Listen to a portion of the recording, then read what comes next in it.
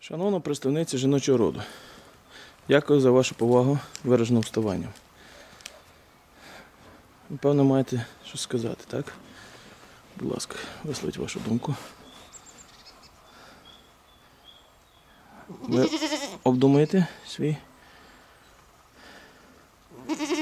свою промову? Відмовляється? Я розумію, що вираженням вашої природи це є завжди чомусь відмовити.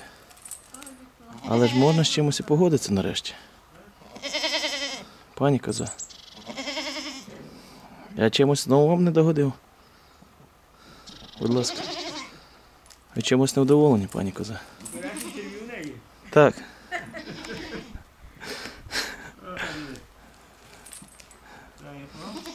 Так нічого не вдалося добитися від баби, від пані кози. Пані коза, давайте з другої спроби спробуємо все-таки поговорити. Пані коза. Ви йдете в атаку? Пані коза. Пані коза, я закликаю вас до мирного, все-таки мирної розмови. А, воно не як. Пані коза вагітна. А, це, мабуть, і все пояснюється. Всі, хто жіночого роду вагітні, їм догодити важко.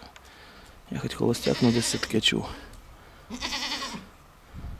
Це можна сказати і по пані козі.